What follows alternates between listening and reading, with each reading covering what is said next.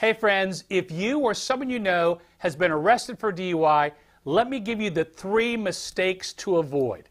I'm attorney Kevin Hayslett, been practicing DUI defense for over 32 years. Mistake number one hiring a general practice lawyer. What does that mean?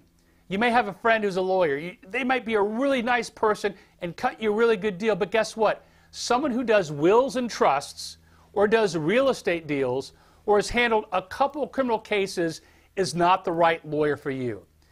DUI defense is a specialized area. They've got to understand retrograde extrapolation, motions to suppress based upon traffic stop, understand, understand the Intoxilyzer, blood chemistry, intoxicology. There's a plethora of information that they need to do, not for the first time with you, but for years before that to increase the likelihood that your case will have a good result.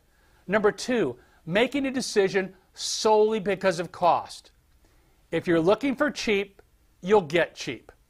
If you want to find someone who's done it before, who's done it for years, who may not even need your business, but has established a reputation, that reputation will cost you money. The third is failure to act. I call this going ostrich on it on your approach. That means you stick your head in the sand, you say it's never going to happen to me, I don't want to think about it, and time ticks you lose the ability to get a hardship license. You lose the ability for your seasoned DUI lawyer to have a formal review hearing and get information that will evaporate if they don't move quickly. Friends, don't make these three mistakes. If you want to know more, follow me for more DUI tips to make sure your DUI arrest does not end in a DUI conviction.